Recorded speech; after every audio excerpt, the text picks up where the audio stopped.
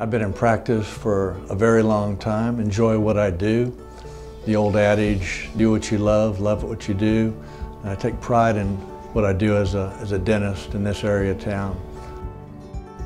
We have always wanted our practice to be that family feeling. And we like to see all of our patients do the very best they can to have the best smile that we can give them. No matter what's going on, I always feel like, you know, I'm important and I'm uh, gonna get taken care of. So I love it here. He's really good and he's very compassionate um, and he puts you at ease. So What's so important for me and the rest of our team is to provide first class, cutting edge treatment with state-of-the-art technology and a beautiful facility where you'll feel relaxed and I want the patients to feel like they're part of our family and they're getting the best treatment possible.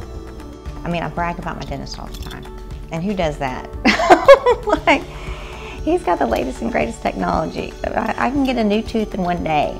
You know, he creates it here in the office. And so um, I think that's pretty amazing. In today's world, a great smile can go a long ways. I enjoy meeting new patients and look forward to working with you.